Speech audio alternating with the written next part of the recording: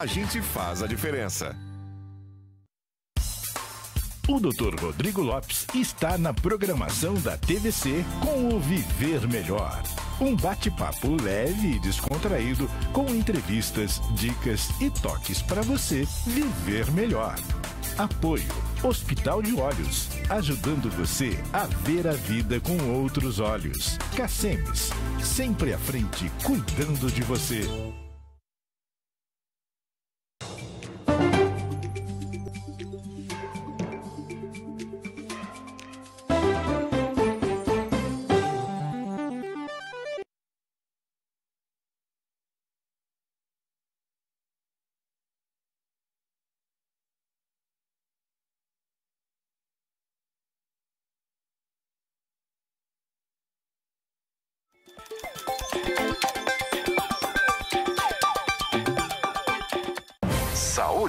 Polícia, economia, política, educação, prestação de serviço. RCN Notícias. RCN Notícias. Olá, bom dia, seja bem-vindo, seja bem-vinda ao RCN Notícias. Hoje é quinta-feira, dia 3 de novembro. O RCN Notícias está no ar e vai trazer agora os seguintes destaques. Em vídeo, o presidente Jair Bolsonaro pede desobstrução de rodovias. Em Mato Grosso do Sul, segundo a PRF, rodovias estão desobstruídas. Movimentação foi intensa no cemitério municipal durante todo o dia de ontem, dia de finados. O cemitério do Soldado é venerado e recebe muitas visitas. A Prefeitura de Três Lagoas prepara programação especial para dezembro. Moradora compartilha fruta que tem no quintal e as deixam disponíveis em sacolas na frente de casa.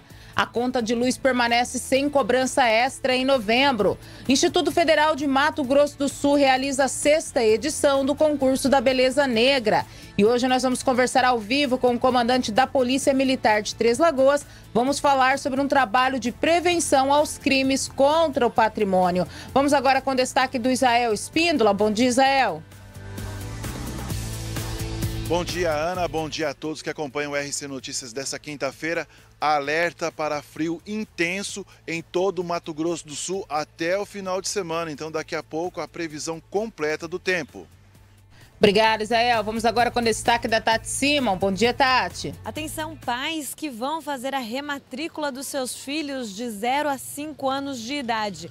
Em 2023 tem novidade e envolve saúde. A informação completa sobre este assunto é daqui a pouco. Combinado, Tati? Agora são 6h33, 6 horas e 33 minutos. E agora nós vamos conferir a previsão do tempo. Vamos saber como fica o tempo para esta quinta-feira em Três Lagoas e em toda a região.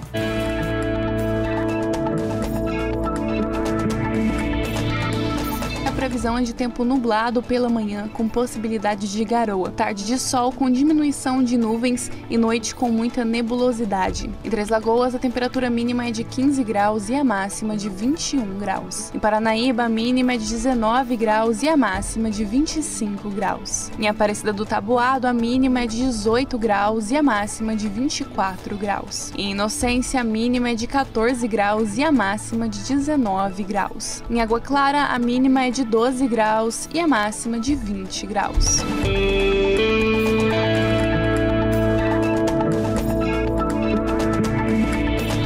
E Antônio Luiz, como está a temperatura e a umidade relativa do ar nesta manhã de quinta-feira? Bom dia para você. Bom dia, Ana. Bom dia também a você que está acompanhando aqui o RCN Notícias. 17 graus é a temperatura neste momento aqui em Três Lagoas. Já teve mais frio, viu? Já. já Foi teve... mínima de 14 então, graus hoje. levantei hoje e falei, poxa, é, o que está acontecendo gelado, com Três né? Lagoas? 73% a umidade relativa do ar, e isso, inclusive, aumenta a sensação térmica. É. Né? A gente sente um pouquinho mais de frio por causa dessa umidade que está no ar. Vamos abrir a janela agora. Para o céu de Três Lagoas, a gente vê poucas nuvens, né, Ana? Será que Vai ter chuva? Não, não tem previsão de chuva para hoje, não, viu? O tempo tá assim nublado, mas não tem previsão de chuva, não, viu? A mínima hoje foi de 14 graus, a máxima não vai passar dos 25 graus, né? Pra gente, 25 graus é uma temperatura agradável, né? Legal. Porque geralmente é. aqui registra acima de 30, 32, 33, 34, Verdade. até mais. Uhum. Aí passou dos 30 é calor, mas 25 graus é aquela temperatura agradável. Mas nós vamos ao vivo agora com Israel Espíndola, que tem mais informações pra gente do tempo. Aí fora eu sei que está frio, Israel Espíndola. Antes de eu chegar aqui no estúdio, que ventinho gelado que está aí nas ruas de Três Lagoas. Aqui nos estúdios está gostoso, quentinho. O grande problema é esse vento, né, meu amigo? Bom dia. Bom dia, Ana. Bom dia a todos. Pois é, Ana. 17 graus, como o Totó falou aí, né? Tá, os termômetros estão registrando nesta manhã de quinta-feira. O problema, Ana, é o vento que tá gelado e isso dá aquela sensação de mais frio, viu, Ana? E olha só, a Defesa Civil de Mato Grosso do Sul emitiu um alerta para os próximos dias aí de frio aí acentuado para todo o Mato Grosso do Sul, inclusive, Ana, com quedas bruscas aí de 5 graus, viu? Para alguns municípios aqui de Mato Grosso do Sul. Esse inverno fora de época, né, esse frio em plena primavera, devido aí a uma onda de massa polar que se desloca né, por toda a região sul do Brasil e também acaba atingindo aqui Mato Grosso do Sul. A mínima hoje foi de 14 graus, como você mesmo disse, a máxima não passa dos 25 graus. E atenção, hein, Ana? Para amanhã, a mínima para Três Lagoas é de 13 graus, então é bem mais frio por aí. E na outra semana, quando a gente pensa agora vai acabar, né? Que o final de semana também será gelado aqui em Três Lagoas, mas na próxima semana já está prevista aí também uma nova massa de ar fria que deve atingir Mato Grosso do Sul e aí sim trazendo mais chuvas para a nossa cidade, viu, Ana? Então aí, se você já tinha guardado aí o casaco, a jaqueta e o cobertor, pode tirar o guarda-roupa que ele vai ser útil sim, viu? Para os próximos dias, frio aqui em nossa cidade. E isso vale lembrar, né, Ana, que na semana passada nós encaramos aí uma temperatura de 36 graus com a sensação térmica de 39 graus e agora esse frio aí rigoroso em nossa cidade haja saúde, viu? Então, um complexo de vitamina C também vai bem para ajudar na saúde, porque essa sensação de calor extremo, de repente despenca para 17 graus e aqui fora com esse vento aí diminui ainda mais a sensação aí para 14 e amanhã a mínima prevista é de 13 graus. Haja saúde, minha amiga. Volto com você.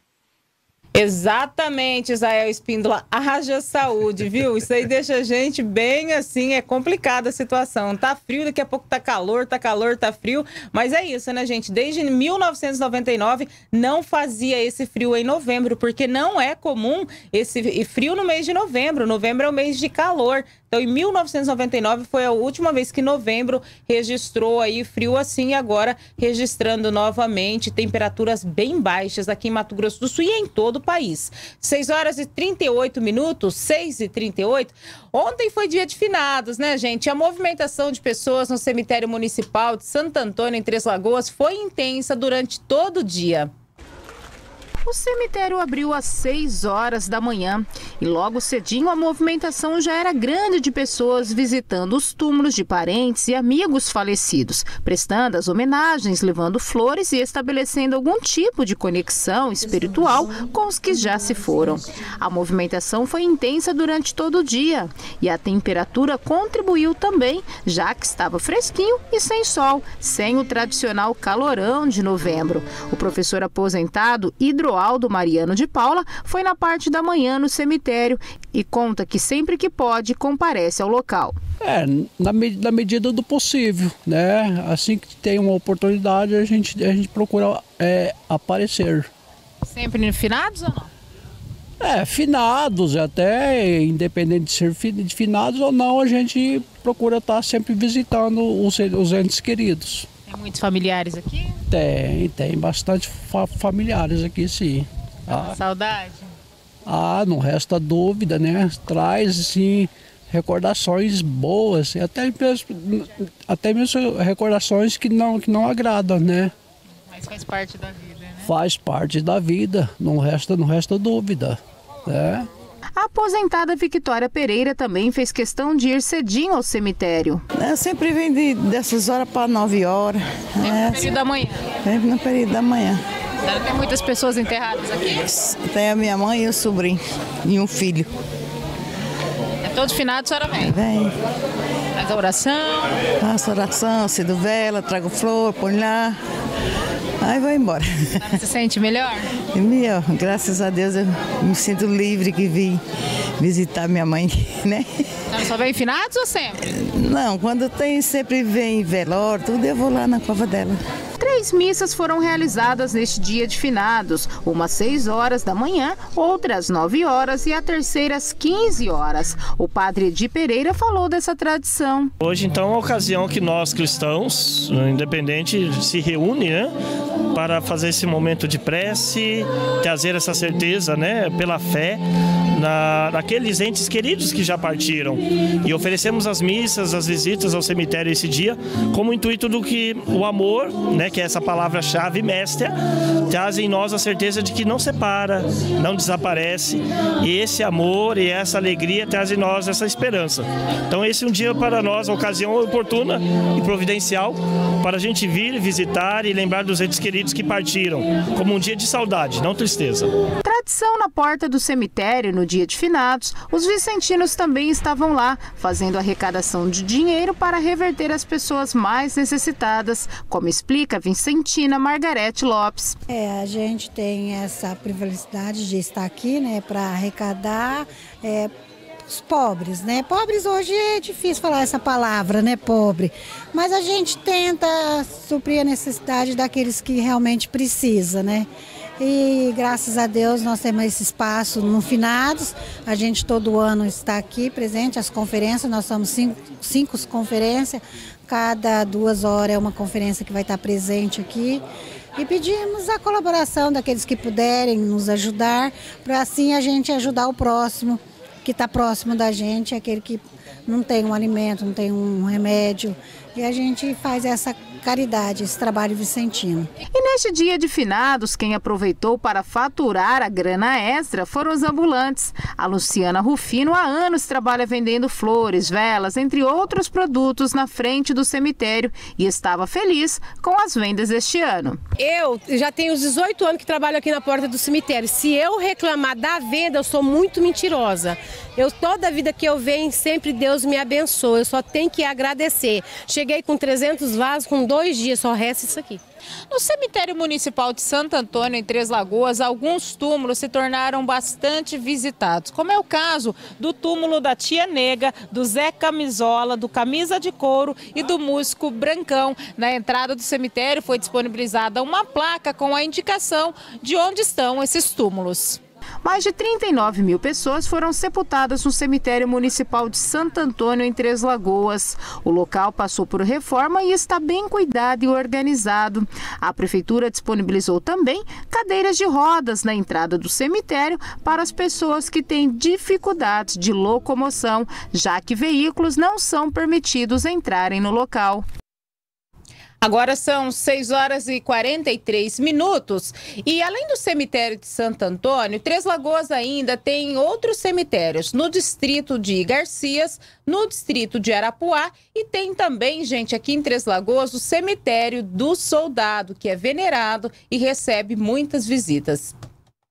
O cemitério do soldado está localizado no bairro Parque São Carlos. Sobre o túmulo do soldado encontra-se vários objetos depositados em agradecimento ou em pagamento a promessas. No local está enterrado José Carvalho de Lima, supostamente soldado das forças de resistência do governo federal contra a rebelião dos tenentes paulistas de 1924. A José Carlos Carvalho de Lima é atribuído muitos milagres. De acordo com relatos históricos, José Carvalho de Lima foi um soldado brasileiro que hoje é objeto de devoção religiosa na cidade. Muito embora haja poucas informações sobre a biografia de José Carvalho, sabe-se que se sucumbiu durante as lutas da revolta paulista na cidade de Três Lagoas. Nesse confronto, as tropas federais legalistas estacionadas na cidade foram atacadas pelas forças revoltosas lideradas por Juarez Tavora e Isidoro Dias Lopes, vindas do estado de São Paulo. O local onde encontra-se enterrado José Carvalho de Lima seria o mesmo onde ele faleceu devido aos seus ferimentos e à falta de cuidados. Ao redor do seu túmulo criou-se um pequeno cemitério onde há uma grande concentração de outras covas, principalmente de crianças. O local chamado cemiterinho é venerado e recebe muitas visitas. Neste dia de finados teve missa no cemitério do soldado também. A aposentada Maria Aparecida Nogueira Soares disse que tem devoção e por isso foi ao cemitério do soldado. Tem devoção, né? Tanto com os vivos como com os mortos que Deus levou, né? Então eu pedir a Deus. Mesmo sem conhecer direito a história do soldado, a aposentada tem devoção por ele. É milagroso, ali tem um altar lá dentro, tem tudo quanto é santo, ele era bem religioso, né? Mas faz muito antes de eu nascer que ele foi morto. Né? E a senhora vê Olha a placa lá, tá escrito lá, minha filha. A senhora acredita? Hein? e minha filha veio, eu vim com a minha filha já mora ali para baixo. 6 horas e 46 minutos, 6 e 46. Olha, gente, falando agora sobre esses protestos nas rodovias federais de todo o país. Ontem, o presidente Jair Bolsonaro, do PL, ele publicou um vídeo é, pedindo fim dos bloqueios realizados em rodovias e ruas pelo Brasil. Na publicação, Bolsonaro afirma que a atitude prejudica o direito de ir e vir das pessoas. Os protestos, abre aspas, disse ele, os protestos são muito bem-vindos, fazem parte do jogo democrático. Ao longo dos anos, muito disso foi feito pelo Brasil. Agora tem algo que não é legal: o fechamento de rodovias pelo Brasil prejudica o direito de ir e vir das pessoas, disse o presidente. Bolsonaro também afirmou que os bloqueios prejudicam a economia do Brasil. Abre aspas. Temos que respeitar o direito do, de outras pessoas que estão se movimentando, além de prejudicar a nossa economia, fecha aspas. Além disso, Bolsonaro fez um apelo para que as pessoas desobstruam as rodovias, aspas. Isso não faz parte do meu entender dessas manifestações legítimas legítimas. Não vamos perder nossa legitimidade, fecha, fecha aspas, disse aí o presidente Bolsonaro. E aqui em Mato Grosso do Sul, a Polícia Rodoviária Federal divulgou ontem à noite um balanço sobre a situação das rodovias no estado. Apoiadores do presidente Jair Bolsonaro des desobstruíram então todas as rodovias bloqueadas em Mato Grosso do Sul. É, os manifestantes liberaram as rodovias estaduais na parte da manhã e as últimas, é, as rodovias federais, foram desbloqueadas no período da noite. Segundo a Secretaria de Estado de Justiça e Segurança Pública de Mato Grosso do Sul, foram registrados apenas concentração de pessoas às margens das vias estaduais na manhã de ontem. O trânsito de veículos fluiu normalmente, entretanto, manifestações seguiram ocorrendo nas margens das vias. É, a secretaria ainda divulgou que 13 pontos tinham apoiadores aí do presidente. Ainda assim, três pontos seguiam interditados em rodovias federais. É, manifestantes realizavam os bloqueios na BR, inclusive 158. Mas ontem à noite, logo depois, inclusive, do pronunciamento do presidente, segundo a Polícia Rodoviária Federal, as vias foram desobstruídas é, e não tem mais, então, obstrução nas rodovias aqui em Mato Grosso do Sul e o trânsito segue fluindo normalmente como a gente tem visto também em outras rodovias federais do país. São poucos os locais que ainda se encontram, eh, se encontram né, obstruídos. Alguns estão obstruídos parcialmente. 6 horas e 49 minutos, 6 e 49. E novembro, gente, começa com uma notícia boa, viu, para os consumidores. É que a bandeira tarifária neste mês, ela segue na taxa verde, viu? Vamos entender o que significa isso na reportagem da Tati Simon. A Agência Nacional de Energia Elétrica anunciou que a conta de luz do brasileiro não vai ficar mais cara em novembro. Será mantida a chamada bandeira verde, que não tem taxa extra. A conta aumenta de valor quando os reservatórios ficam baixos por causa da falta de chuva, o que não é o caso por enquanto. A bandeira tarifária passou a ser verde para todos os consumidores em 16 de abril deste ano, quando terminou a vigência da bandeira de escassez hídrica, instituída de forma emergencial por conta do baixo nível dos reservatórios das usinas hidrelétricas e da necessidade de acionamento de termoelétricas. Apesar disso, a aposentada Maria Aparecida diz que não nota tanta diferença assim na conta de energia elétrica na casa dela. A conta de luz é uma vilã no seu orçamento? Como é? E como é? Sempre foi. Muito caro. E aí tem alguma estratégia ali em casa para economizar? Ah, não tem, assim, não tem. Outra, assim, na minha casa é, é, é coisa assim, supérflua. É geladeira, chuveiro. É o básico. É o básico. Aí, chuveiro, é um banho mais rapidinho? É rápido também, rápido. É, geladeira que a senhora citou, não pode ficar de porta aberta por muito tempo? Não pode, porque senão vem um arrombo, né? Tá vendo como a senhora tem estratégia?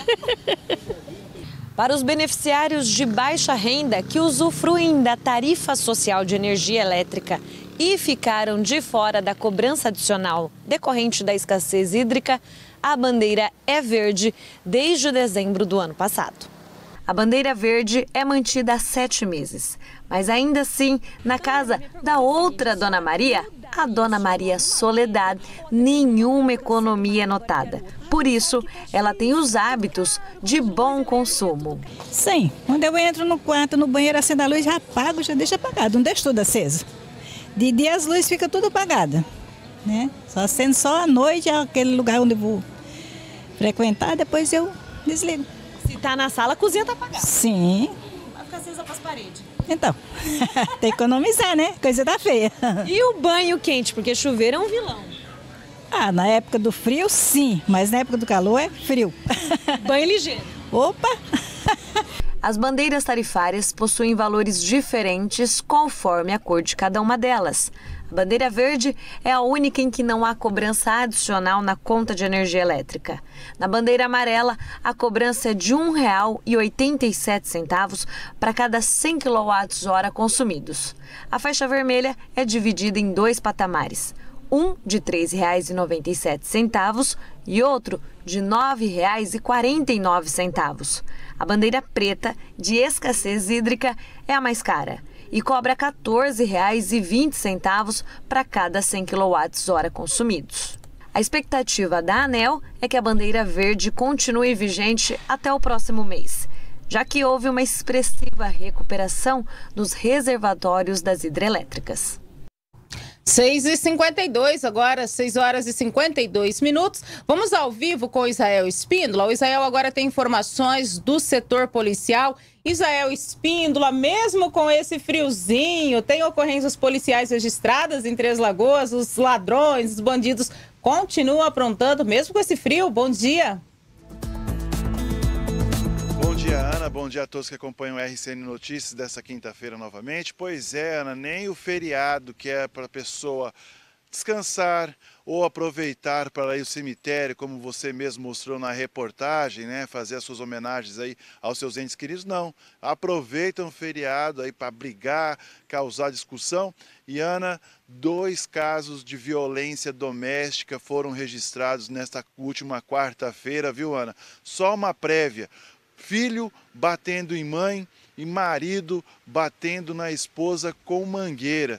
É, foi bastante tumultuada aí essa quarta-feira e os homens aqui não tomam vergonha e acabam cometendo crime de violência doméstica. Vamos então aos destaques, vamos aos detalhes desses dois casos que foram registrados aqui em Três Lagoas. Na noite de ontem, por volta das 16 horas, 18 horas, perdão, e 42 minutos, um homem de 32 anos foi preso em flagrante após ter agredido aí a sua companheira, né? O caso aconteceu lá no Jardim Alvorada, na rua Márcia Mendes. A mulher de 42 anos acionou a polícia aí após ser tido sido agredida, né? E de acordo aí com as informações, uma equipe do 2 Batalhão da Polícia Militar foi acionada aí após aí atender o pedido de socorro desta mulher. A vítima relatou para os policiais que esse cidadão é violento, além de agredir aí, ela ainda agrediu o próprio irmão. E contra este autor, né, contra este agressor, já existia um boletim de ocorrência, né, pelo mesmo crime, pelo crime de violência doméstica, que foi registrado no dia 22 de abril deste ano. Bom, Quando os policiais militares chegaram até o local, é claro, né, como todo machão, né, faz, agride a mulher, bate, espanca e depois acaba fugindo. Acontece que os policiais militares fizeram rondas ali na região do Jardim Alvorada e acabaram encontrando este cidadão que foi preso em flagrante e foi encaminhado aqui para a DEPAC, onde o caso foi registrado. E na tarde de ontem, Ana, veja só, uma mulher lá na Vila Piloto, na rua Dom Bosco, né, acabou sendo agredida por mangueira de uma máquina de lavar. De acordo com o registro policial, o marido teria pego a motocicleta sem a permissão da esposa, né? E teria saído e foi até a casa de uma parente, no caso, uma prima ela foi atrás deste homem e pediu para ele que devolvesse a motocicleta e as chaves deste veículo.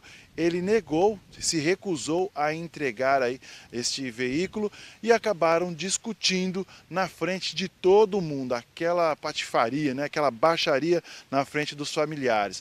Determinado muito, né, no calor da, da, da discussão, ele partiu para cima dessa mulher, saindo em vias de fato, trocando socos com ela. Ele acertou um soco no olho direito desta mulher. Em determinado momento da agressão, ele ainda achou uma mangueira de lavar, uma mangueira de máquina de lavar e começou a desferir vários golpes com essa mangueira nesta mulher. A mulher apresentava várias escoriações, lesões no pescoço e também na mão esquerda. Ainda de acordo com o registro policial, o autor só parou de agredir essa mulher porque a prima dele entrou no meio da discussão, no meio da briga, impedindo que ele desferisse mais golpes contra esta mulher. Assim que ele acabou com a sessão aí de agressão, é claro, fugiu do local a mulher acionou a equipe da Polícia Militar e ela foi encaminhada também aqui para a DEPAC. Veja só, né, Ana? Sem fim essa agressão contra a mulher e sempre por motivos banais, sempre por motivos banais que esses homens, esses calhordas acabam cometendo esta violência desnecessária contra a mulher por, por conta de uma motocicleta. Esse homem agrediu essa mulher aí por uma mangueira de lavar, uma mangueira de máquina de lavar na frente de todo mundo. E esse caso aconteceu na Vila Piloto por volta das 15 horas e 30 minutos. É um absurdo o que vem acontecendo, esses registros de violência doméstica aqui em nossa cidade. Ana, foram essas ocorrências policiais. Daqui a pouco eu volto direto da casa do trabalhador com as ofertas e oportunidades. Afinal de contas, é quinta-feira, então se você, meu amigo, minha amiga, está desempregado, ainda dá tempo sim de concorrer a uma vaga de trabalho. Volto com você, Ana. Tá certo, obrigada, Israel, pela tua participação. 6 e 58 agora, 6 horas e 58 minutos. Muito obrigada a todos que estão na audiência, na sintonia, interagindo com a gente, mandando o seu bom dia. Eu quero agradecer a audiência da Márcia Santos. Obrigada, viu, Márcia? Da Noemi Medeiros, também sempre na audiência. Obrigada, minha querida. Até uma Brum também na sintonia. A Márcia Santos também, a Rosana Batista, o Domingos Andrade, a Érica Moreira Monteiro Monteiro, a Rosana Magalhães, a Lúcia Castro Cunha. Obrigada, viu, Lúcia, pela audiência. A professora Gedalva Tenório também na sintonia. O Marcos Uchoa, a Su Souza, a Lourdes Moreira. A professora Gedalva, inclusive, está parabenizando Palmeiras, né? Que foi campeão aí, em Deca campeão, é isso, professora? Obrigada, viu, pela audiência. Um abraço para todos os palmeirenses. Palmeiras foi é, campeão antecipadamente, né? A Lourdes Moreira também na audiência. Obrigada, lindona. A Maria Regina dos Santos, o Roberto Oliveira Nascimento, a Su Souza, tá frio, né, Su? A Margarete Lopes também na sintonia, a Lúcia Rosa, a, o José Andréa da Silva, o Rodrigo Ferreira também acompanhando. Obrigada Obrigada, viu, Rodrigo? O Vanderlei Duarte também na sintonia. Ah, Vanderlei, daqui a pouquinho eu vou mostrar as imagens que você mandou pra gente de uma calçada, gente, que tá tomada por mato. Daqui a pouquinho a gente vai falar sobre isso, tá bom? Ah, quero agradecer aqui também a audiência do Luiz Benites Alcântara. Obrigada pelo carinho, pela sintonia. A Maria Zélia também na audiência. Ah, também quem está aqui comigo, a Juliana, obrigada. A Lúcia Rodrigues, o Maurício Soares, dele diz: Olha, bom dia, que Deus abençoe nosso dia. Amém. Obrigada, viu, querido? Antônio Ezequiel, Marcos Franchini, a Selma Carneiro, né, Selma, aqui no bairro Vila Nova. Ela diz: Bom dia. Que clima estranho nessa época do ano. É verdade, viu, Selma? Não é comum é, frio em novembro. Desde 1999 não registrava frio no mês de novembro. A Renata Almeida também na audiência a Márcia Oliveira, a Dina Souza, a, Rosa, a Rosália Maria também na audiência. E até uma Brum diz: Olha, a minha mãe Célia e a minha sogra Severa estão na audiência. Um abraço, então, para dona Célia e para dona Severa é, na audiência aqui do RCN Notícias. Obrigada, viu, gente, pela audiência de vocês. Sete em ponto, a gente vai no intervalinho. Daqui a pouquinho a gente volta com mais informações aqui no RCN Notícias. Apoio Hospital Auxiliadora. 102 anos de cuidado com a vida. Estoque materiais de construção. Do básico ao acabamento, a melhor compra para você. Vidrobox, Rua João Carrato, 1040. RCN Notícias. Construir é mais que vender os produtos para sua construção ou reforma. Construir é participar, é estar ao seu lado em todos os momentos. Na estoque você encontra todos os materiais que precisa para sua obra, com as melhores ofertas. Estoque Materiais de Construção, Avenida Capitão Olinto Mancini, 3565. Telefone 3522 0454. Venha construir com a gente. Vidrobox. Há 23 anos realizando sonhos com as melhores soluções, levando qualidade, beleza e estilo para a sua construção. Atendimento personalizado, produtos inteligentes e exclusivos para o seu melhor conforto e segurança. Guarda-corpo em inox ou vidro, esquadrias de alumínio, muxarabe, pele de vidro, box para banheiro, espelhos e muito mais. Rua João Carrato, 1040. Fone 3521 4042. Vidrobox, para quem leva qualidade a sério. Chegou em Três Lagoas um novo conceito de cartão de saúde, o cartão Auxiliadores do Bem. Seu novo cartão de descontos com valor mensal para toda a família. Ele conta com toda a estrutura do Hospital Auxiliadora, descontos em consultas médicas, exames de imagem e laboratório, procedimentos, pacotes cirúrgicos, internações de enfermaria, UTI e parcerias em serviços e produtos para toda a família. Atendimento 24 horas todos os dias. Mais informações entre em contato pelo telefone 21 05 3501 ou WhatsApp 21 05 3500. No ano da Copa, o Grupo RCN marca mais um golaço de promoção. Promoção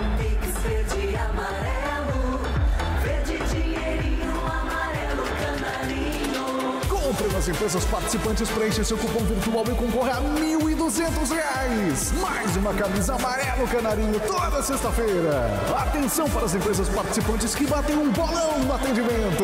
Multisodas, Depósito de Gás Avenida, Ótica Especializada, Sete Farma, Digimar, PJ Performance Auto Center, Depósito de Gás ao Gás, Postos BR, Nikkei e Paraty, Lojas Mariano. Canarinho. Mais um golaço de promoção do Grupo RCN. RCN Notícias.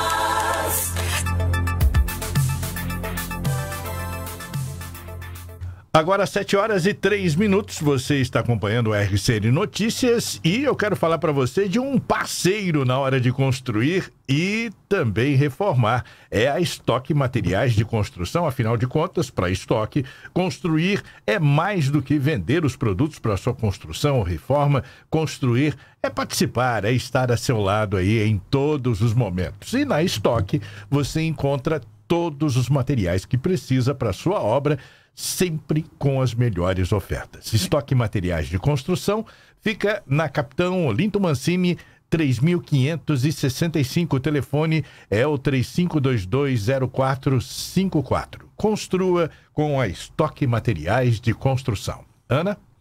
Sete horas e quatro minutos agora, sete e quatro. Gente, e nesta semana é, foram apreendidos mais de um quilo de droga no presídio de segurança média aqui de Três Lagoas. Constantemente, os policiais penais têm feito apreensão de entorpecentes que as pessoas tentam jogar dentro do presídio. Na madrugada de terça-feira, o grupamento de escolta penitenciária, o JEP, conseguiu interceptar um quilo de maconha e duas gramas de cocaína. A droga foi arremessada para dentro do presídio de segurança média de Três Lagoas por volta das 5 horas da manhã. De acordo com o diretor do presídio, Raul Ramalho, os criminosos aproveitam da mata que fica no entorno do presídio para se camuflar e arremessar o entorpecente. Desta vez, a droga foi arremessada próxima do pavilhão 3 como explica o diretor Raul Ramalho. Por volta das, das 5 horas da manhã, é, foi identificado um barulho, um ruído na mata da penitenciária, nos arredores aqui da penitenciária, e os servidores, tanto da equipe da interna como da externa, o pessoal do grupamento de escolta penitenciária, fizeram a desmobilização e conseguiram identificar alguns objetos lançados é, no interior da penitenciária. É, posteriormente, já considerando se tratar de drogas, já a gente já tem um pouco mais de experiência no assunto, conseguiu identificar que se tratava de pouco mais de um quilo de maconha e uma pequena quantidade de cocaína. Também já foi o material foi apreendido e está sendo encaminhado à delegacia para providências necessárias e registro da ocorrência. Ainda de acordo com o diretor Raul, o combate à entrada de entorpecente no presídio é constante. Os criminosos buscam de todas as formas, seja por arremesso, até mesmo usando equipamentos tecnológicos como drone. Na semana passada, uma mulher foi presa quando tentava entrar no presídio com cocaína escondido nas partes íntimas. É, isso aí é o, o procedimento que a gente já faz das rotinas prisionais. Geralmente nos finais de semana nós temos aí o detector de metais, o body scan e também o raio-x corporal. É, essa visitante ela tentou ingressar na unidade prisional com material velado na sua roupa íntima e com o próprio identificação desse material irregular e a própria conduta da, da visitante, que estava bastante alterada e nervosa, o pessoal conseguiu identificar esses materiais. Ela foi presa em flagrante delito, encaminhada pelos policiais penais à DEPAC local para registro da ocorrência, providências e onde foi lavrado já o auto de prisão em flagrante delito. E esse combate direto tem evitado que essas drogas cheguem aos pavilhões, graças ao trabalho dos policiais penais que estão atentos nas torres de observação 24 horas. Com certeza, o que a gente percebe é a liberação dos policiais militares também para as atividades fins da, dentro da, da cidade e agora com o JEP ingressando nessa nova atividade prisional de guarda, vigilância e custódia prisional, a gente percebe que a valorização também do servidor penitenciário, policial penal. E isso acho que a sociedade também começa a perceber do nosso importante papel também de desempenhar, de coibir a entrada desses ilícitos e também fazer toda a custódia, a manutenção prisional dessa pessoa enquanto está aqui temporariamente é, detida né, pela, pelo Poder Judiciário e fazendo essa custódia prisional a gente consegue também identificar é, esses ilícitos. A gente tem um pouco mais de praticidade, um pouco mais de experiência na, na rotina prisional, consegue dar um tratamento de melhor excelência também nessas atividades prisionais. Sete horas e oito minutos, sete e oito, e daqui a pouquinho a gente vai conversar ao vivo com o comandante da Polícia Militar aqui de Três Lagoas. Vamos falar sobre essa questão dos furtos, né, arrombamentos na área central, toda uma estratégia, um planejamento, ações que estão sendo preparadas para coibir esse tipo de crime. Daqui a pouquinho. 7 e 9, agora a gente vai falando sobre Natal, gente, porque já é o mês que vem, viu? É, tem se falado tanto de eleição, mas o Natal já está aí, está batendo na porta, é no próximo mês. E a Prefeitura de Três Lagoas já iniciou aí um planejamento e os preparativos para a tradicional decoração natalina da cidade, bem como, gente, para toda a programação para o Natal. Tá chegando a época preferida do ano para muitas pessoas, o Natal. Época de festas, de trocas de presentes, de amigo secreto, da espera pelo Papai Noel, de decoração natalina, entre tantas outras peculiaridades que só esta época proporciona. E a Prefeitura de Três Lagoas prepara uma programação especial para este ano. Além da decoração natalina na área central e outros pontos da cidade, neste ano shows devem fazer parte das festividades natalinas. A vendedora Maria Eduardo espera que a decoração deste ano seja superior às realizadas nos últimos anos. É porque faz tempo que não decora mais, né? Assim, decora, mas não aquelas coisas que eles faziam que nem antigamente, enfeitava a cidade toda, iluminação, colocava árvore, quando ficava bem bonito. Agora, uns dois anos, três anos pra cá, não faz mais, né? Qual que é a sua expectativa para o Natal? Você gosta do Natal? Gosto. Bastante, isso é uma data bem comemorativa, né? Mas também é umas datas tristes para alguns. É uma data muito boa. O Natal tem tudo a ver com amor. É o momento do ano em que as pessoas ficam mais generosas, receptivas, emotivas e harmoniosas. Além disso, é uma época de muitas compras. A auxiliar de escola, Yara Aparecida da Silva, diz que a expectativa é das melhores. expectativa muito boa, né? Um ano diferente. Acabou-se a pandemia, né? Estamos voltando ao normal aí. Estamos na expectativa de comprar bastante presente, reunir a família, né? Aproveitar os anos que a gente não pôde aproveitar. Acho que a prefeitura deveria já decorar antes de chegar perto do Natal. Sim, né? Já está se programando, né? Ou às vezes já está se programando, né? E dar aquela boa renovada aí na nossa cidade, né? Acho que deixa o clima mais alegre. Sim, claro, né? Tá precisando? Tá precisando de alegria. Luzinete Padovan também espera que a decoração fique bonita. Olha, eu prefiro uma decoração bem linda, né? Para dar mais um novo astral, né? Que tá precisando muito. Para ficar um Natal mais alegre. Inclusive, para mim, eu tenho uma dor muito grande no meu peito no Natal. Perdi um filho, mas Deus me levantou. E eu tô aqui, tocando a vida. E desejo que seja um Natal bem feliz para todos os anos. Mãe, todo mundo. Porque nós merecemos, eu acho. Mais um pouquinho de paz. Sim, muita paz. Muita paz, muito, muito, muito. Que Deus abençoe todos. E a expectativa é positiva também, não só para a população de um modo geral, mas para os comerciantes e para os funcionários do comércio, já que o Natal é considerada a melhor data para as vendas. A vendedora Rosa Fernandes Teixeira já trabalha no comércio há 20 anos e diz que agora, com a pandemia da Covid-19 controlada, as vendas devem ser bem melhores em relação aos últimos dois anos. Ô, sem Covid, nós estamos esperando tudo o Natal para a gente vender muito bem, armar nossa árvore de Natal. Logo a gente vai expor, vai ter muitas promoções na Paris Calçados, já está tendo, né? E a gente espera melhoras, né? É, uma, é a melhor época para vocês, para as vendas? Para nós, é. De venda, sim. A gente espera o ano inteiro, né? Para chegar esse final a gente conseguir vender, né? Tem mais movimento no comércio, né? Com certeza. É isso, né, gente? A expectativa é claro que é das melhores, né? Natal é das melhores épocas para o comércio, é o período que o comércio mais vende, é o mês que as pessoas gostam muito, né? É o mês que as pessoas ficam mais fraternas. Então fica aí essa expectativa de como será a decoração natalina neste ano.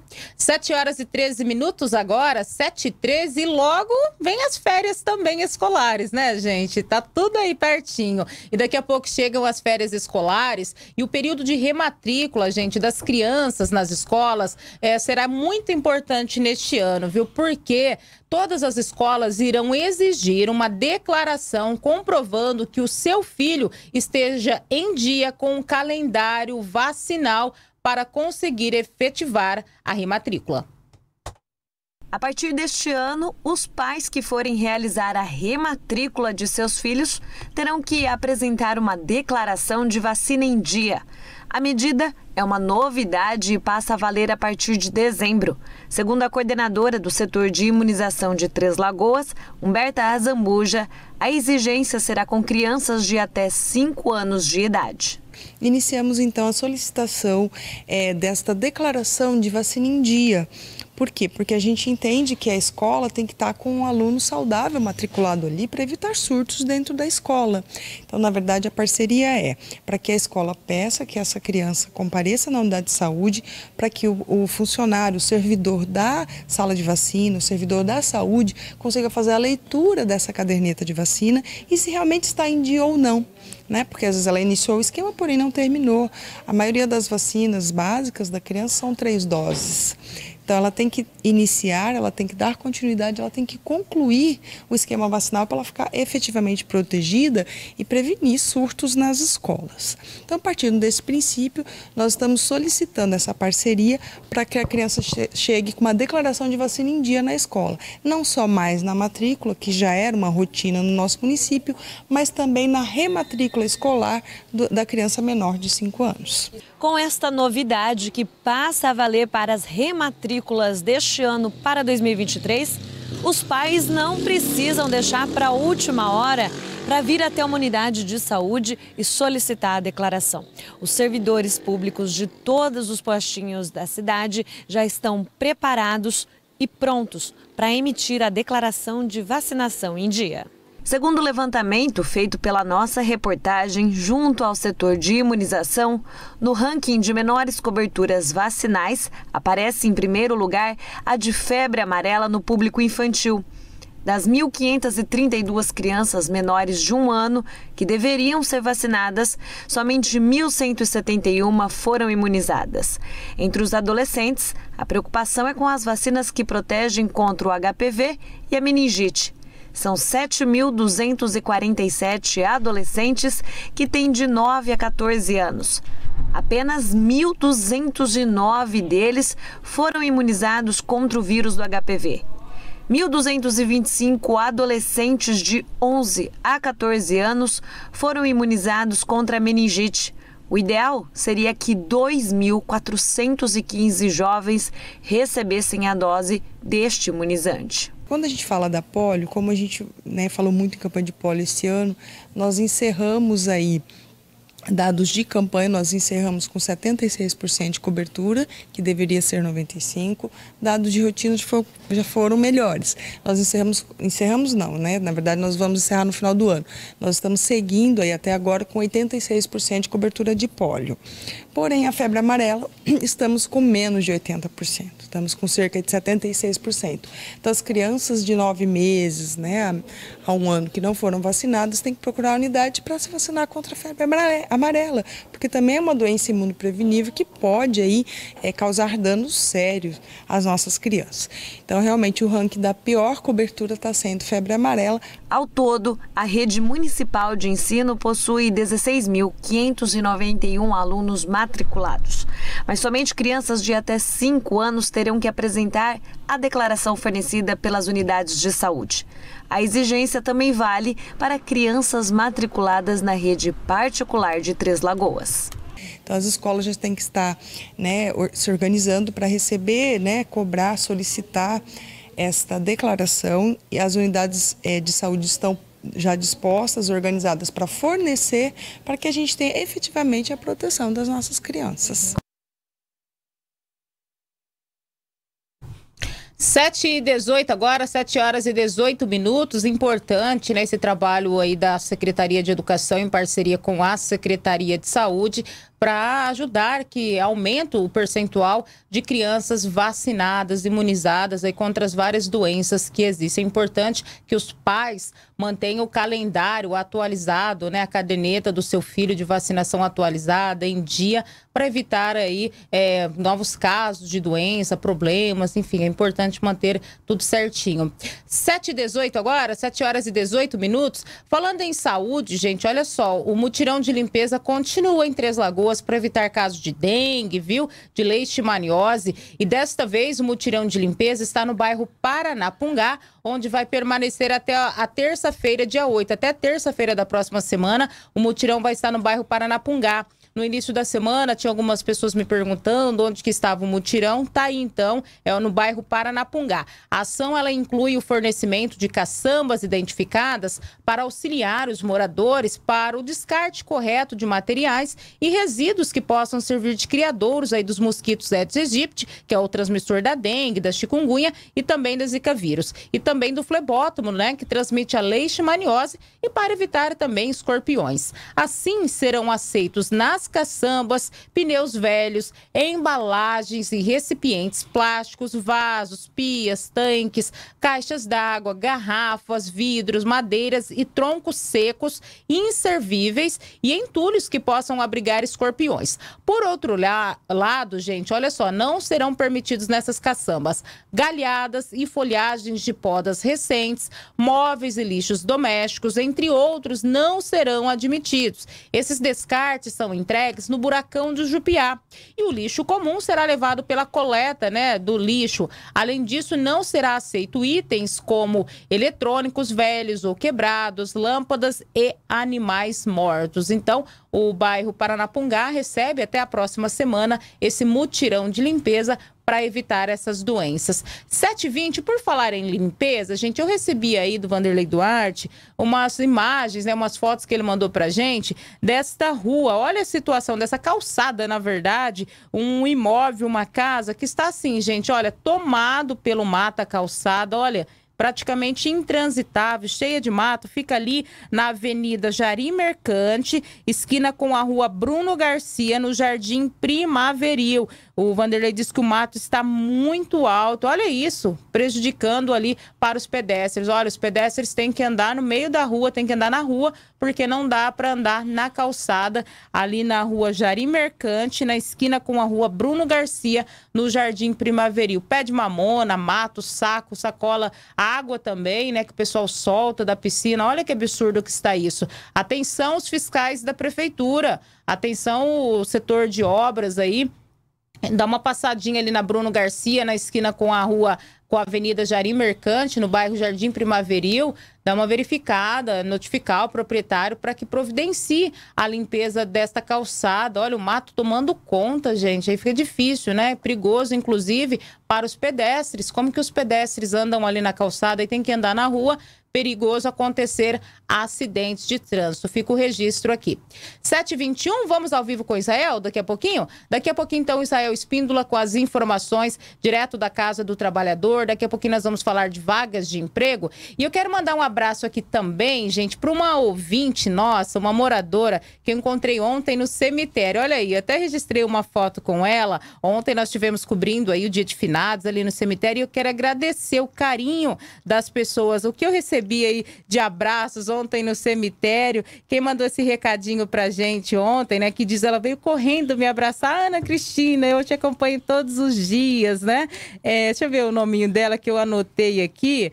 Ah, quem que manda? Quem que eu tirei essa foto mesmo? Eu até deixei registrado aqui para não para não esquecer. Deixa eu ver o nome dessa dessa ouvinte nossa que eu encontrei no cemitério. E eu quero agradecer o carinho de todas as pessoas. Ah, onde que eu marquei aqui, Antônio Luiz? Não estou conseguindo achar agora o, nome dessa ouvinte que eu marquei aqui ontem lá no cemitério. Ela veio correndo para poder tirar uma foto com a gente. Diz que acompanha todos os dias o nosso trabalho. Ah, daqui a pouquinho eu acho onde que está o nome dela, minha querida. Perdão, viu? Eu marquei aqui no, no celular. Estou tentando encontrar aqui o nome para mandar um abraço para ela. Daqui a pouquinho eu falo, tá bom? O nome dessa ouvinte nossa que a gente tirou essa foto ontem, tá? Mas eu quero agradecer o seu carinho, a sua audiência, enfim, de todas as pessoas que eu encontrei no cemitério ontem, as pessoas, ah, eu acompanho todos os dias, parabéns pelo trabalho de vocês. Então, muito obrigado pelo carinho de todos vocês, tá bom? 7h23, vamos no intervalinho e a gente já volta com mais informações. Apoio Hospital Auxiliadora, 102 anos de cuidado com a vida. Estoque materiais de construção, do básico ao acabamento, a melhor compra para você. Vidrobox, Rua João Carrato, 1040. RCN Notícias. Vidrobox. Há 23 anos realizando sonhos com as melhores soluções, levando qualidade, beleza e estilo para a sua construção. Atendimento personalizado, produtos inteligentes e exclusivos para o seu melhor conforto e segurança. guarda-corpo em inox ou vidro, esquadrias de alumínio, muxarabe, pele de vidro, box para banheiro, espelhos e muito mais.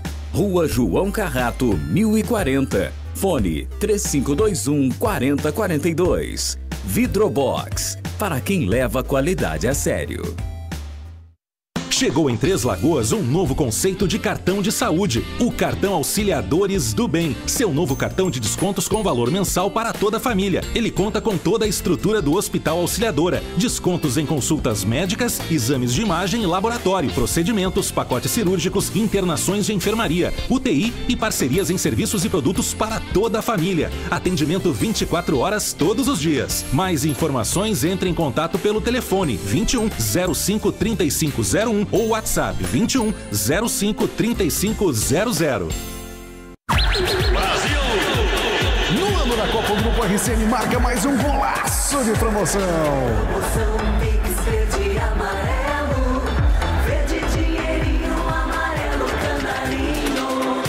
Nas empresas participantes, preencha seu cupom virtual e concorra a 1.200 reais. Mais uma camisa amarelo canarinho toda sexta-feira. Atenção para as empresas participantes que batem um bolão no atendimento.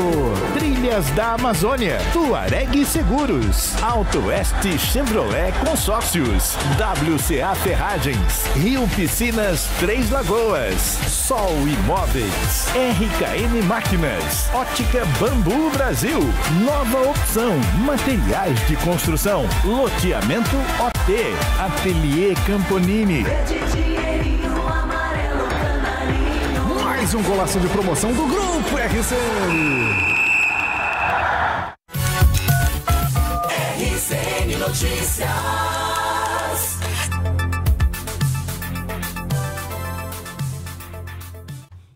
7h25 agora, 7 horas e 25 minutos. Bom dia, muito obrigada a todos pela audiência, pela sintonia. Achei o nome da nossa ouvinte, é Dona Lourdes, Antônio Luiz, a Dona Lourdes lá do bairro JK. Dona Lourdes, um abraço para a senhora, viu, minha querida? Muito obrigada pelo carinho seu e de todos os demais ouvintes, telespectadores, tá? Eu quero agradecer aqui a Margarete Lopes também. Ela diz, Ana, sem contar que o cemitério tá lindo, né? Bem cuidado, onde agora temos o prazer de passear todo dia lá, sem tristeza. Aquelas belezas nos cuidados com os que foram sepultados, estão sepultados. E ela diz parabéns pela cobertura. Obrigada, viu, Margarete? A Margarete estava lá ontem, né, é, com os vicentinos, fazendo arrecadação para ajudar as pessoas mais necessitadas. Quero agradecer também a audiência do Reinaldo Rojas. Ele diz: Bom dia, Ana Cristina. Bora tomar um cafezinho ouvindo e assistindo o melhor jornalismo da região. E feliz da vida com o meu Palmeiras, campeão brasileiro. Bora comemorar. Ótimo dia para vocês e também um abraço para o Antônio Luiz. Opa, obrigado, né, o Reinaldo Rojas, pela audiência, pelo carinho. O Mário Ferreira Medeiros também, Florivaldo Quirino. A todos vocês, muito obrigada mesmo pela audiência. Vamos ao vivo com o Israel Espíndola. O Israel está na Casa do Trabalhador. Israel Espíndola, mais uma vez, bom dia para você. Como que estamos de vagas de emprego nesta quinta-feira? Dia a todos novamente nessa manhã gelada de quinta-feira. Agora sim estou protegido do vento lá fora. Estou aqui na Casa do Trabalhador, que fica na rua Monir Tomé, número 86. Olha só, Ana, são ofertadas nesta quinta-feira 112 vagas, 112 oportunidades de emprego. E é claro que eu vou destacar algumas aqui para vocês que estão à procura de emprego: 10 vagas para auxiliar administrativo, 10 vagas para auxiliar de cozinha, 10 vagas também para auxiliar de limpeza, 10 vagas para auxiliar técnico florestal, 10 vagas para motorista carreteiro e, é claro, outras, outras vagas também para operadores de caixa, pedreiro, pizzaiolo, supervisor de segurança patrimonial, técnico de segurança do trabalho, torneiro mecânico, enfim, são 112 vagas que estão sendo ofertadas aqui na Casa do Trabalhador, aqui de Três Lagoas, nesta quinta-feira. Lembrando que a Casa do Trabalhador fica aqui na rua Muniz Tomé, número 86, no centro. Para conseguir o agendamento, para se cadastrar para uma dessas vagas, o candidato né, deve baixar o aplicativo aí MS Contrata Mais e fazer o seu agendamento para você evitar fila, desperdício também de tempo. Né? Agendou no horário, na data marcada, só comparecer aqui na Casa do Trabalhador, que fica aberto das 7 horas da manhã até as 17 horas. Ana, então tá aí, então, 112 vagas estão sendo ofertadas nesta quinta-feira. Volto com você.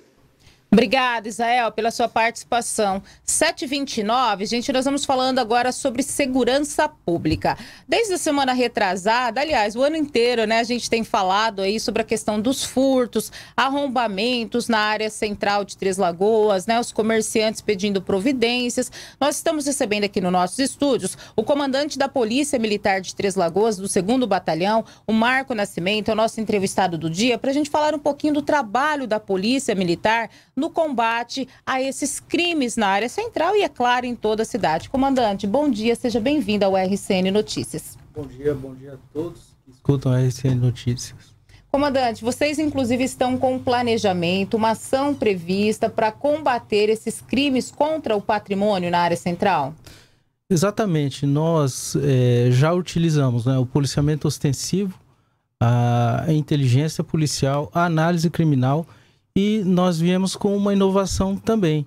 Essa inovação que é? é um, são palestras que serão ofertadas aos trabalhadores do comércio, todos aqueles que envolvem o comércio, né? As pessoas que trabalham, aquele que possui a sua, a sua loja, enfim. E através desta palestra nós passaremos dicas de segurança. Algumas coisas que podem ser, algumas ações que podem ser tomadas pelo empregador, pelo colaborador que vai é, dificultar né, a ação de marginais. Por exemplo, é, uma loja que coloca é, bem próximo à entrada, ela expõe produtos de valor. Então ele está próximo ali, às vezes sem nenhuma barreira, então ele facilita para a ação do furto em si. Né? A colocação de, do caixa, onde ele, ele pode ficar aqui de forma estratégica é assim aquele cidadão que entra dentro do comércio e ele começa a observar câmeras, posição de, de, de do caixa, algumas atitudes suspeitas. E assim, é, identificando, ele vai ligar para, para a polícia militar, para o 90, e nós vamos ali fazer abordagem. Nós precisamos, de verdade, muito, são das informações. Através das informações a gente faz a geoanálise e é, fazemos as nossas ações. Então ela vem para qualificar pessoas uhum. para tentar diminuir esses índices. Mas a senhora entende que é uma parceria, né? Porque às vezes a gente sempre escuta as pessoas, ah, mas ah, diariamente né, tem arrombamento nas lojas. A gente sabe, a gente até já havia conversado numa outra ocasião, que não é possível a polícia estar ali 24 horas em todos os locais, né? Não tem efetivo e nem estrutura para isso, você ficar 24 horas fazendo monitoramento de uma loja, de uma área central. A gente sabe que a polícia está presente, mas é o que o senhor coloca, que as pessoas também, os comerciantes, enfim, o cidadão, de um modo geral, cada um pode colaborar e contribuir para essa redução dos índices de criminalidade? Isso, é, nós temos uma população aproximada de 140 mil pessoas na cidade. Então é, é, impossível que estejamos em todos os locais. Mas essas ações elas vêm a somar, né? É, temos um outro exemplo é, que acontece em alguns locais que as comunidades do próprio bairro elas se unem, criam grupos de informação e elas vigiam o bairro. Então qualquer coisa diferente que tem naquele grupo, um conversa com o outro, fala para o outro, olha, é, tem alguma pessoa diferente aí, parece na frente da sua casa, o vizinho olha na câmera, vê se conhece, né, e vai trocando informações. As pessoas viajam e às vezes não conseguem falar pro vizinho e dá uma olhada na casa dela. E aí ele faz isso através deste grupo, né? Então vem esse ciclo de palestras, primeiro segmento será o comércio. Depois nós estaremos expandindo isso para os hotéis. O hotel é muito importante para a polícia, são nos hotéis que às vezes se hospedam pessoas diferentes, pessoas que podem vir a cometer algum crime, né? É muito importante. Talvez depois o, também o sindicato rural trazendo dicas de segurança no campo, depois para as escolas e depois o individual. Então nós queremos chegar nos nichos de que o cidadão também ele se sinta importante, né? E que ele pode também colaborar com a, a- com a criminalidade na sua cidade, com a redução dela, né? É, em evitar também é, a criminalidade. Esse, essa palestra vai acontecer quando? Ela vai acontecer na sexta-feira no Hotel T. né? Nós já fizemos o convite, estamos fazendo agora é, a inscrição das pessoas, né? Através de um link. E estaremos ali no Hotel T no, às 19h30. Amanhã? Isso, amanhã.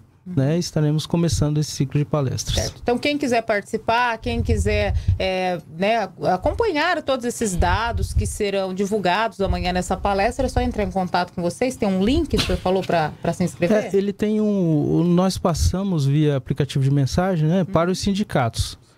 E os sindicatos estão di- difundindo isso para todos os seus membros, né, os participantes do sindicato, e ali ele consegue fazer a inscrição. Então, no caso do comerciante, é só entrar em contato com o Sind Varejo, que é o Sindicato do Comércio Varejista, e no caso dos funcionários do comércio que queiram participar, aprender um pouquinho mais, pode entrar em contato com o Sindicato dos Empregados do Comércio. Tem aí o Suede e o Eurides, que são os representantes desses sindicatos, que tem todas as informações para você poder participar desta palestra que vai acontecer amanhã. O senhor estava falando também sobre essa questão né, da- das pessoas se ajudarem, enfim, do, do comércio de modo geral. A gente vê muito que em alguns estabelecimentos tem as câmaras, casas também, mas muitas das vezes ficam desligadas, né? Então é importante também que essas câmaras estejam funcionando, né? Exatamente, a câmera ela, ela, ela evita, né? Ela, ela é onde ela dificulta, porque quando ele vê que existe ali a câmera, já, já, já pensa duas vezes, vamos dizer assim. Então, sim, elas têm que estar é, com a manutenção feita, eles têm que estar ligada. A questão que a gente trabalha muito é a questão também da, das vidraças, né? É, se a gente puder colocar é, ali grades, é importante, porque ela dificulta. E tem grades hoje que é praticamente transparente, né? Que você tem que chegar muito próximo para ver a grade. Ela dificulta. Às vezes a Né? pessoa não quer colocar por conta da questão estética, né? Do, do estabelecimento comercial, mas enfim, pela questão de segurança, às vezes faz necessário, né, comandante?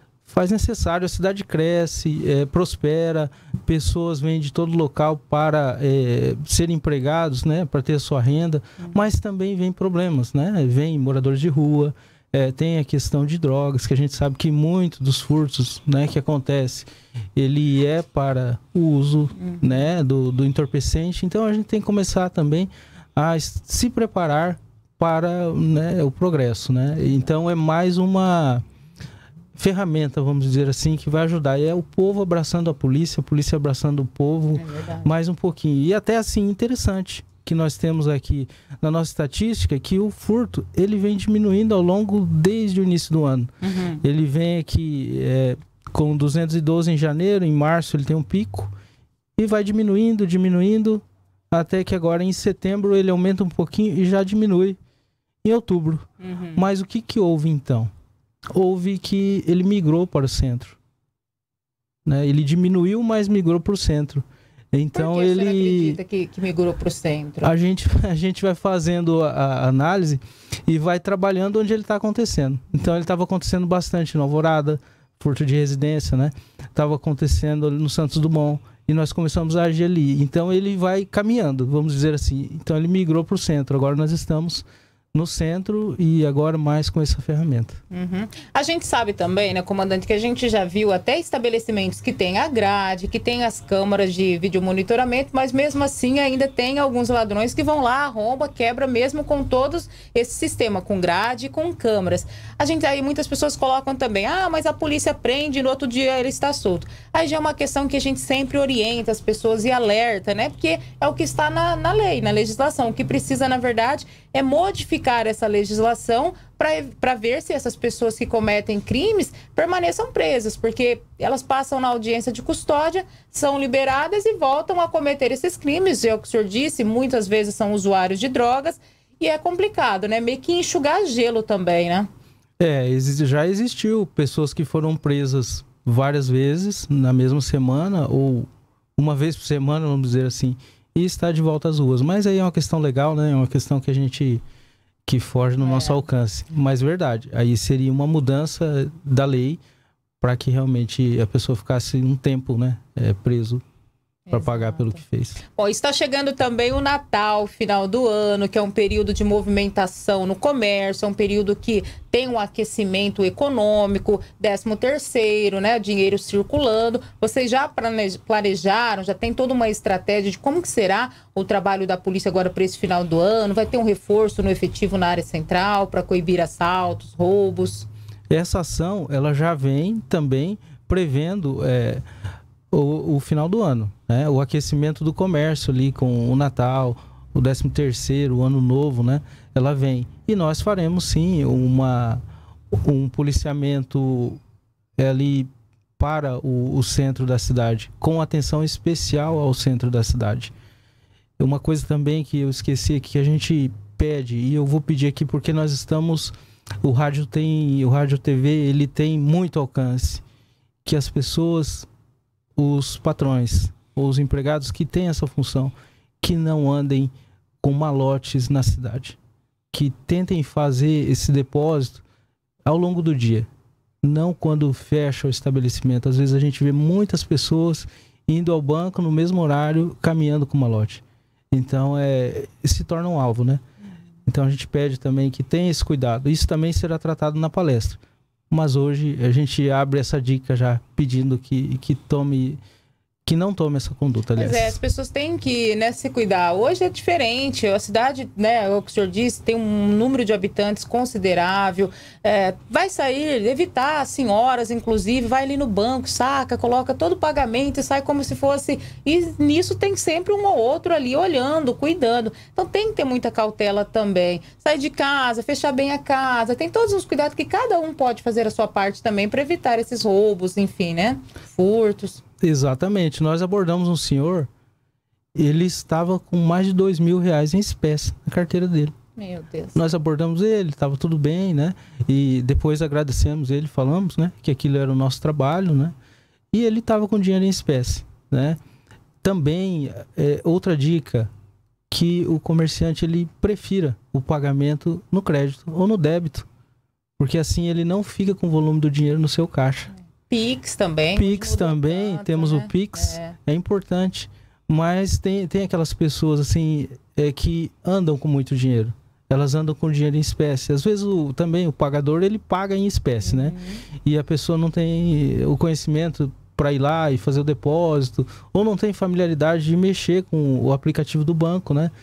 Mas Principalmente os idosos, né? É, eles fazem questão eles de pegar com- o dinheirinho, né? Tem que ter cuidado. e né? ficar ali não contar o dinheiro na rua, né?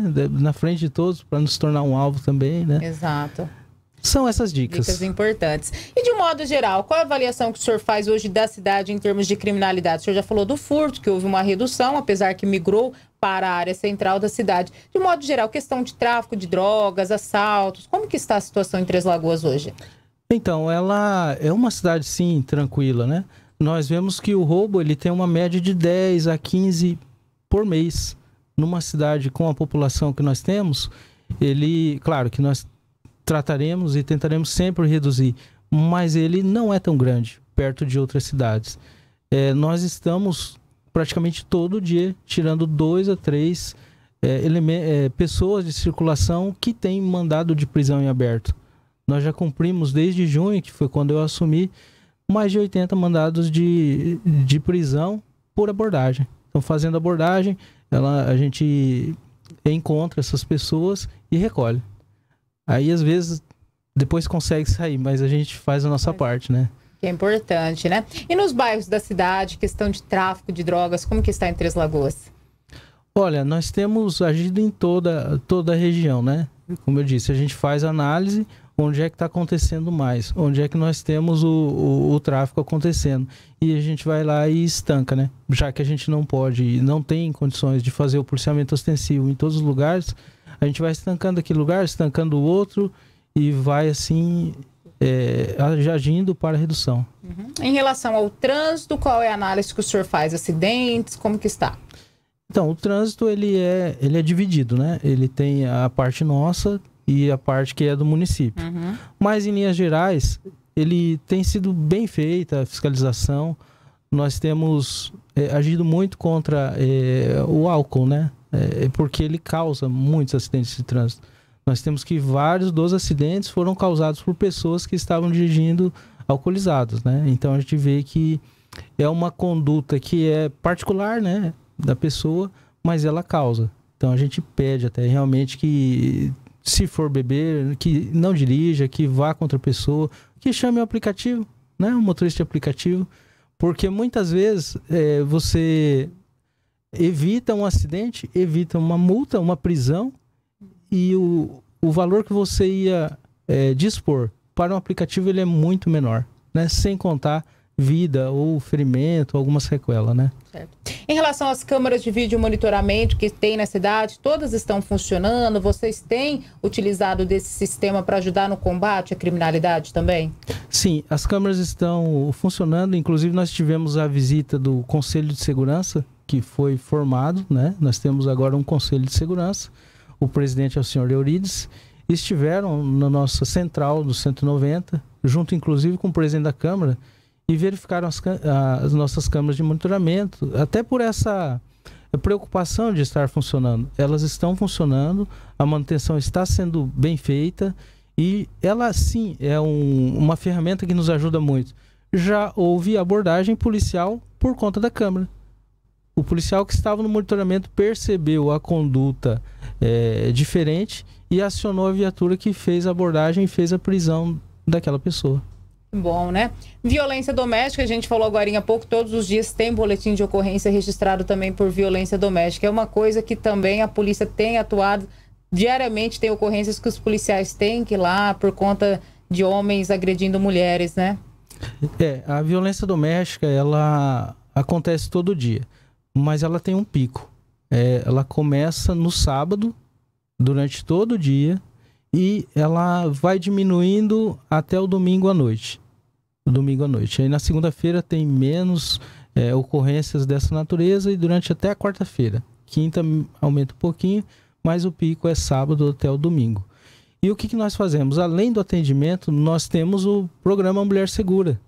E aí é o trabalho pós o atendimento policial vem um trabalho praticamente social que a Polícia Militar também faz através da Cabo Selma, faz as visitas para as vítimas e ali faz a entrevista, verifica o que, que a pessoa está precisando, é, leva para o centro de acolhimento, se for o caso, e vai acompanhando ali para que ela consiga, né, é, se livrar, se libertar daquilo, né?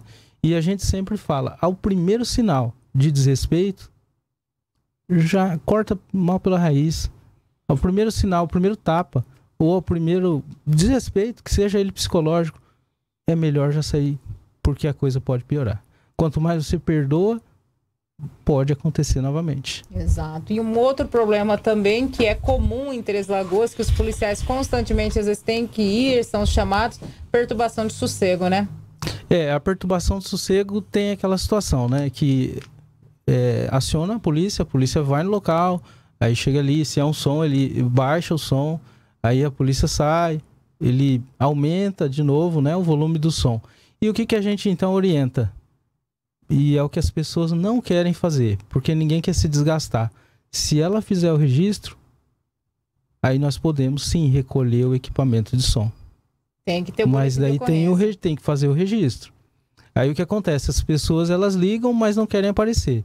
A gente fala, olha, nós vamos lá sim, vamos atender, deve baixar o volume, mas eu não sei se depois ele vai aumentar novamente. Uhum. Então nós precisamos disso, nós precisamos do registro para efetivamente a gente conseguir combater isso. Certo, comandante. A gente quer agradecer pela tua presença, obrigado e bom trabalho para vocês aí do 2 Batalhão da Polícia Militar. Muito obrigado, a gente agradece a oportunidade de, de poder estar tá mostrando o nosso trabalho para toda a nossa população.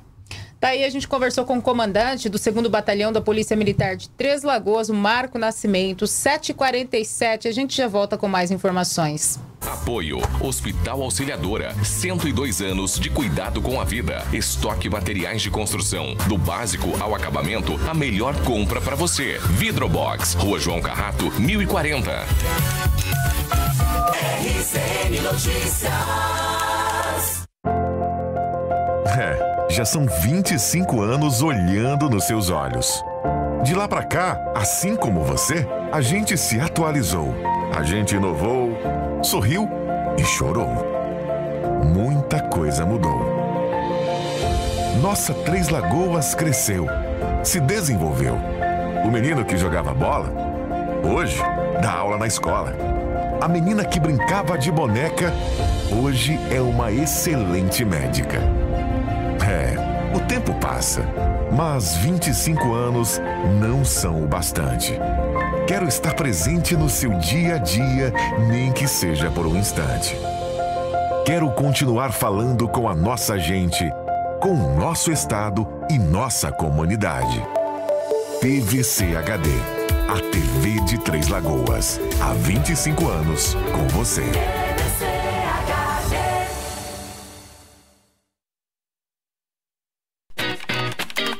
Construir é mais que vender os produtos para sua construção ou reforma. Construir é participar, é estar ao seu lado em todos os momentos. Na estoque você encontra todos os materiais que precisa para sua obra, com as melhores ofertas. Estoque Materiais de Construção, Avenida Capitão Olinto Mancini, 3565. Telefone 3522 0454. Venha construir com a gente.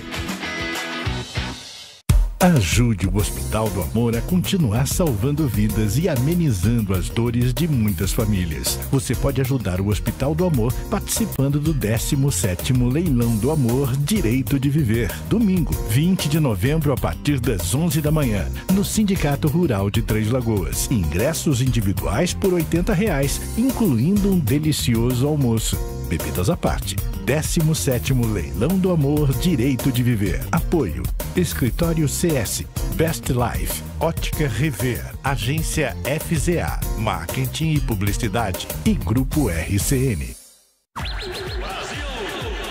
No ano da Copa, o Grupo RCN marca mais um golaço de promoção.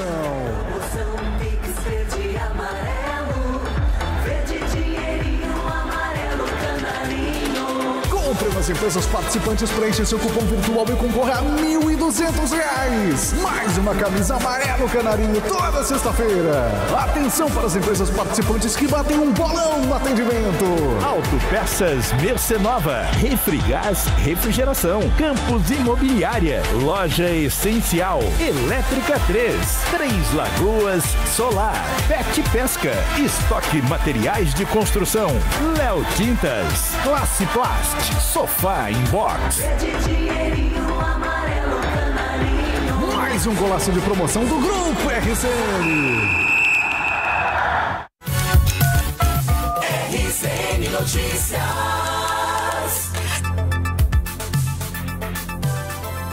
Sete horas e 51 minutos agora, 7h51. Muito obrigada a todos pela audiência. Eu quero agradecer aqui a audiência da Maria Ribeiro Sarques. Ela diz: Bom dia, Ana Cristina. Estou assistindo o jornal. Obrigada por nos manter informado de todos os acontecimentos da nossa cidade. Obrigada, querida, pela audiência. O Marcelo Leopoldo também na sintonia diz: Bom dia, Ana. Ótima quinta-feira. Estamos ligados aqui na sintonia no bairro Parque São Carlos. Obrigada, viu, Marcelo? E a Kelly Leopoldo pela audiência. A Olivia Garcia também, desejando um dia abençoado para todos. Muito obrigada pelo carinho de vocês.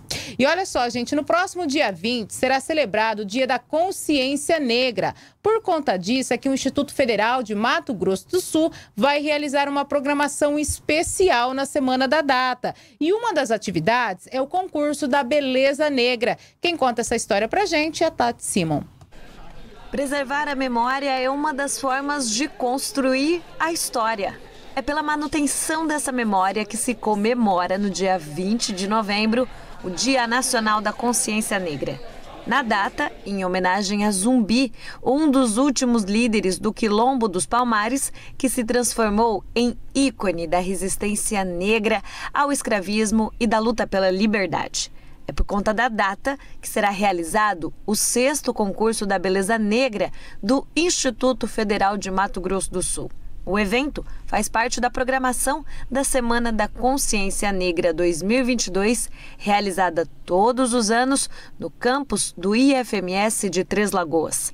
O professor e idealizador do evento, Guilherme, explica como será. O desejo de fazer o concurso é eu como um homem negro né, professor aqui no Instituto Federal, vejo a necessidade ainda das pessoas negras se reconhecerem como bonitas, como belas, reconhecerem seus cabelos, a sua pele, seu nariz, a sua estética. A gente tem um padrão né, social muito preso ao branqueamento, ao cabelo liso, com que faz com que pessoas negras, por muitas vezes, não se sintam bonitas, não se encontrem no lugar da beleza. Então é daí que parte esse princípio, que é um trabalho que a gente já faz aqui há 11 anos de consciência negra, e aí nesse trabalho de 11 anos a gente pensou em criar essa experiência, e aí além dessa questão da negritude, a gente também trabalha com a questão de uma beleza para corpos diversos. Então a gente já teve vencedoras que tinham corpos gordos, então pessoas gordas, pessoas magras, né, pessoas deficientes. Esse ano a gente vai ter uma candidata autista, né? a gente já teve, vai ter uma candidata trans também. Então o nosso concurso está pensando em corpos negros das formas diversas. E quando a gente pensa em beleza, não é uma beleza é, no sentido padrão unicamente do corpo. O concurso tem algumas etapas e a gente avalia o resultado total. Então o candidato passa pela passarela, mas ele também tem que fazer uma apresentação cultural que tem uma relação com a temática né, da cultura afro-brasileira e africana, que demonstre que ele entende desse universo de ser negro e da cultura negra e valoriza ela. E aí, desse, desse resultado, cinco finalistas são convocados para responder as perguntas dos nossos jurados. Esta já é a sexta edição do concurso de beleza negra que ocorre dentro do IFMS. Em 2020, primeiro ano da pandemia da Covid-19, ocorreu o concurso em uma versão inédita, online. Já que tudo era online naquele ano, o concurso também foi. E foi tão inédito que, pela primeira vez, os 10 municípios onde possuem unidades do IF também puderam participar daquele edital. Neste ano, todo mundo com saudade dos concursos presenciais será deste jeito, dentro do campus de Três Lagoas, aberto para toda a comunidade. Nossa expectativa sempre é alta, assim, né? A gente estava com muita vontade de voltar, porque a gente fez em 2019 uma ótima edição, tinha cerca de 400 pessoas aqui no campus e a gente teve naquela edição 25 candidatos. Né? Esse ano a gente abriu para 20 candidatos, mas a gente tem um teto de até 25 candidatos. Se estourarem as inscrições, a comissão pode abrir vagas é, extras. A expectativa para esse ano é ter de 20 a 25 candidatos e ter mais ou menos entre torno de 300 a 400 pessoas no campus da comunidade. Então está aberto para toda a comunidade assistir. Olha, o primeiro ano de pandemia a gente tentou essa empreitada de organizar o concurso online. Ele foi interessante, ele teve uma boa adesão, teve um sucesso, mas eu acredito que em 2021 a população já estava muito cansada desse elemento da virtualidade, né, de fazer o evento virtual. A gente até tentou esboçar uma organização de concurso, mas a gente viu que havia um grande desestímulo.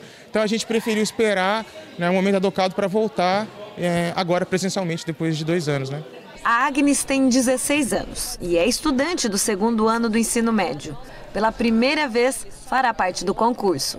É a primeira vez que eu participo do concurso. É, eu me interessei pelo concurso por ser um que prioriza a beleza negra, não só a beleza, mas como a sua apresentação cultural. Para participar do concurso, você tem que apresentar uma, uma apresentação cultural que envolva a cultura negra e ela celebra a cultura negra, por isso que eu me inscrevi no concurso. Para você participar do desfile é feito todo um trabalho com você, são várias oficinas para você encontrar a atividade que você quer apresentar para representar a cultura negra. Não é só beleza, como a maioria das pessoas pensa. E já que um dos critérios é uma apresentação cultural em que o candidato demonstre sua relação com a cultura afro-brasileira, a jovem tem a dela bem definida. O meu trabalho vai ser um slam da Bichart, é um slam sobre transgeneridade e negritude. Slam é como se fosse uma poesia falada é como se fosse uma interpretação artística de uma poesia. O tema é livre, tem que ter relação com a cultura negra, então pode ter dança, pode ser capoeira, pode ser cantar uma música, né, pode ser recitar um poema. Então a gente já teve todas essas apresentações. Então a gente teve, por exemplo, o vencedor de 2017 era um aluno haitiano, então a apresentação cultural dele foi recitar um poema em creolê, a, a, a língua nativa. Então a gente já teve música, dança, poesia, né, hip hop, apresentação de cultural também de, de candidatos que desenham ou fazem quadros, e aí eles pintaram os quadros e explicaram. A única, é, a única coisa é que tem que ter uma relação com a cultura afro-brasileira e africana, que demonstre o candidato como ele se relaciona com isso. As inscrições ainda podem ser feitas e é por meio do Instagram, o arroba Malungos de Zumbi e Dandara. O desfile é aberto ao público e será no dia 18 de novembro, a partir da 1h30 da tarde, no próprio campus do IFMS. 7h58 agora, vamos com os destaques da Dani Wester, que daqui a pouquinho a gente começa o programa CBN Campo Grande e vamos saber dos destaques do programa de hoje. Dani. Destaques do jornal CBN Campo Grande dessa quinta-feira. Mato Grosso do Sul amanheceu sem bloqueios feitos por bolsonaristas nas rodovias, segundo a Polícia Rodoviária Federal.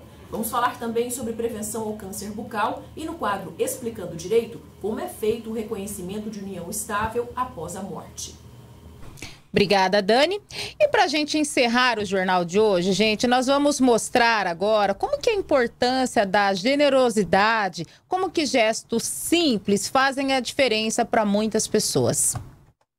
A vida pode ser mais generosa com simples ações, principalmente quando você compartilha o que sobra em casa. Gestos simples podem fazer a diferença na vida de algumas pessoas.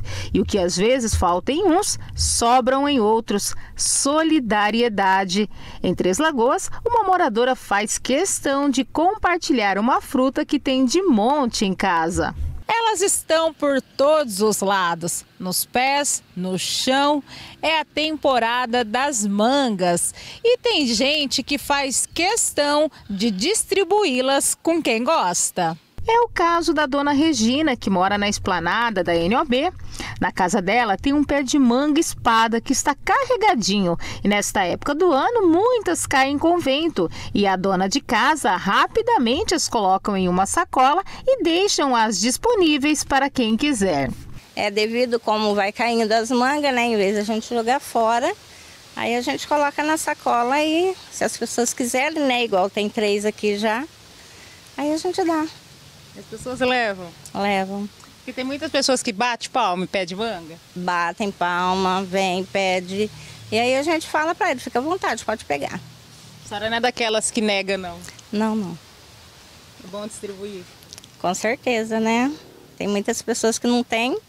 Aí como a gente tem, né, cai também e perde, então as pessoas vêm, pedem, a gente dá. Dona Maria Batista, por exemplo, viu as sacolas cheias de manga na frente da casa da Dona Regina e aproveitou para pegar e levar para algumas crianças. Para criança, eu gosto de criança, eu tenho amor de criança. A senhora vai levar para elas? Vou. Aqui, ó. E a dona Regina diz que as mangas espadas são docinhas e muita gente utiliza de várias maneiras. Chupa, faz doce, é, faz suco de manga também. Muito bom. Quanto tempo que tem esse pé aqui na casa da senhora? Ih, moça, faz tempo, hein? Tem 18 anos que eu moro aqui. Eu acho que já tem bem mais de 100 anos essa casa aqui. O gesto pode ser considerado simples, mas quando é feito com amor e de coração, se torna inesquecível, gratificante, né, dona Regina? Ah, é gratificante, né? Muito bom ver as pessoas saírem daqui. Às vezes a pessoa vem nem, nem é, lava, né? Já pega e já com aquela vontade de chupar, já pega e. Legal, parabéns, viu? Obrigada. Gente, né? É isso, né? Por mais pessoas generosas assim que compartilhem aquilo que tem. E com esta reportagem a gente vai encerrando o RCN Notícias desta quinta-feira, agradecendo a todos pela audiência. Muito obrigada pela tua participação, pela tua sintonia. A gente volta amanhã a partir das 6h30 em mais uma edição do RCN Notícias. Um ótimo dia para você. Apoio Hospital Auxiliadora, 102 anos de cuidado com a vida. Estoque materiais de construção, do básico ao acabamento, a melhor compra para você. Vidrobox, Rua João Carrato, 1040. RCN Notícias.